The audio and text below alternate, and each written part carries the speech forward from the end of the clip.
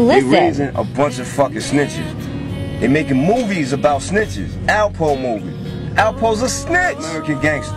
Frank Lucas. He's a fucking snitch. Uh, Nicky Barnes. He's a fucking snitch.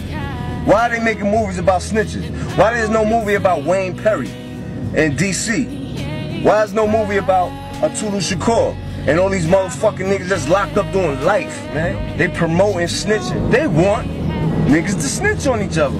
Fuck snitching. We got other things to worry about. Let's snitch. Alright, you wanna snitch? Let's snitch. Like right now, I'm snitching on the government. I'm letting them, I'm snitching on the Illuminati. I'm snitching on the military. I'm snitching on the fucking religion. I'm snitching on some real shit. I ain't snitching on my, my brothers in the streets. Fuck beefing with all these street niggas.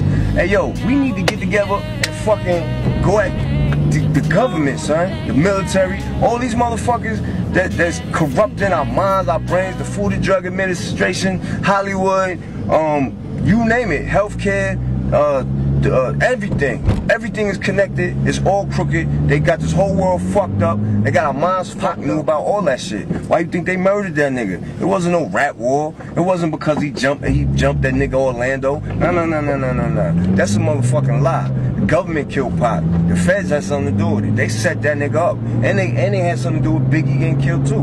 And then they tried to make it look like a rap war.